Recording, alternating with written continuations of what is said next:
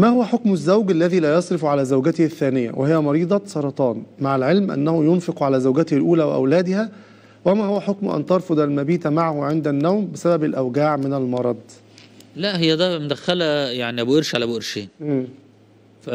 ال- النوم معاه مع عدم الإنفاق. مم.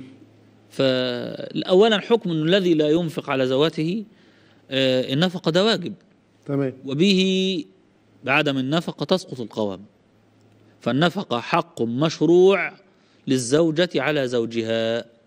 نعم. حق واجب. واجب على الزوج الإنفاق على الزوجة. وإلا من أسباب إن القاضي يطلق عدم الإنفاق أو عدم القدرة على الجماع. نعم. الشرطين دول إذا سقطوا من الزوج خلاص واحدة فيهم كفاية إنها إيه؟ تطلق عند القاضي. طيب وبينفق على الزوجة الأولى. والله آه، عدم عدل. آه إذا رفضت المبيت معه ليه رفض المبيت؟ في فرق بين عشان الأوجاع دي قصة مش مش مسألة رفض. أيوه. في فرق بين إن أنا لا تعبانة وبين إنك أنت بتعاقبيه بعدم ده, ده قصة تانية. تمام. تعبانة طبيعي. افترض بي- بي- بيديكي ملايين في الشهر. آه. وتعبانة. دي ملهاش علاقة بدي إنما هي يعني واخدة إيه؟